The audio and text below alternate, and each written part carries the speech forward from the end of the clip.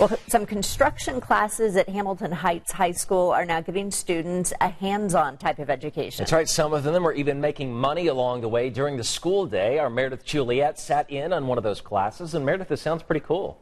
Yeah, it was super neat. These students were working on building model walls using saws and measuring sticks, and this comes at an important time. The amount of skilled tradesmen in the workforce is dwindling. Find that balance. That's Eric Fisher, Nice and easy. Just let it flow. Keep that angle. Yeah, keep going. or Fish to his students. Nice and smooth. There you go. Fish has put together a really good program, so it's a great opportunity. That program, high school construction classes. If I do that an apprenticeship, it would be actually pretty high. From the classroom to an on the job apprenticeship, making $12 an hour I want this to look nice. and working towards licenses and certifications during the school day. It's hands on. I'm actually learning stuff I care about. Mr. Fisher says it's an important time in our society to reconnect young people with skilled tradesman jobs. The numbers suggest that between now and 2030, uh, over 40% of the skilled trade workforce is going to leave in retirement. This is uh, an opportunity to get kids connected to these companies and have a meaningful uh, relationship.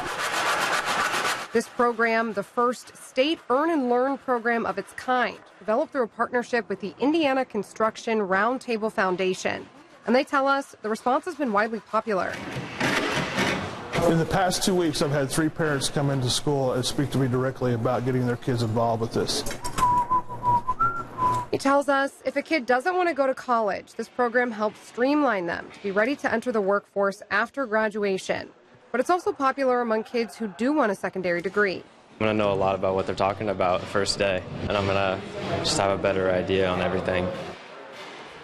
Now, students are being trained in carpentry, electricity, and plumbing, among other things. And hey, they're getting paid Well, during this yeah, school day. pretty well awesome? too. It is Yeah. really cool, and these are jobs that aren't going away. I Right. mean, Meredith, that's the good thing about them. These trade skills. Absolutely. And if people are leaving that industry, we need to make sure we have kids coming up and, and Yeah. being interested and Sure. liking it. All right, thank you. Very I think I'm going to go back to high school. I'm a tradesman.